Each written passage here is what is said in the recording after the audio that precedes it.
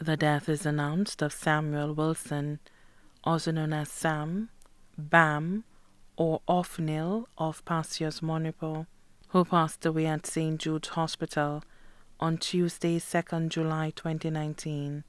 He was 91 years old. Left to mourn his wife, Mariana Doleon Wilson of Passios Monipo, his children, Savory and family residing in French Guiana, Simbert Wilson of Passios Monipo, Joycelyn and family of Mon Repos.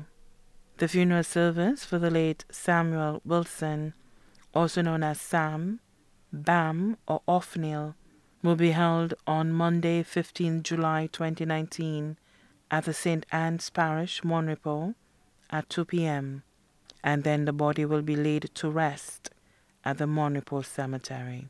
The body now lies at Lazarus Funeral Home, New Dock Road, Vieux Fort.